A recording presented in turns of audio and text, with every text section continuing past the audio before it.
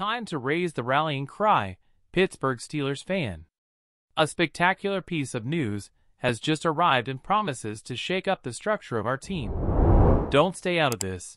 Subscribe to our channel to receive all the updates about this bombshell. The Pittsburgh Steelers have completed their offensive line with the signing of experienced center Isaac Seumalo from the Philadelphia Eagles. The team managed to secure Seumalo after his appearance in the Super Bowl last season, and his former teammate, Jason Kelce, believes the Steelers have gotten a real steal.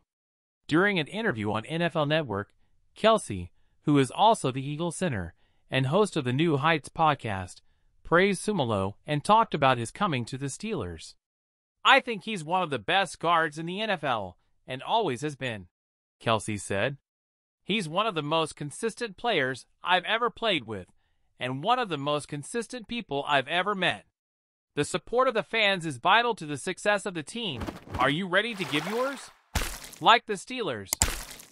The Steelers signed Seumalo to a three-year contract valued at $24 million. The player, selected in the third round of the draft, will turn 30 this season and is expected to fill in at left guard alongside first-round pick Broderick Jones.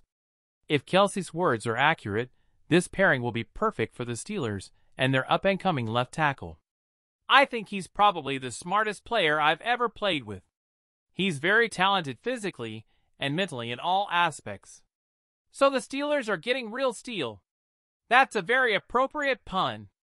Kelce added with a smile.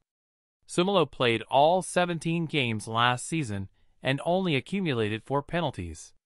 His addition will strengthen a revised offensive group that had 27 penalties in 2022.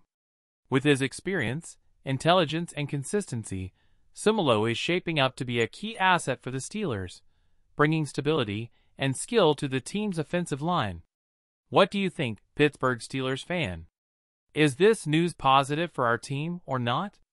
Be sure to share your opinion in the comments, as it is crucial for us. And stay tuned as I'll be bringing you the latest Steelers news at all times.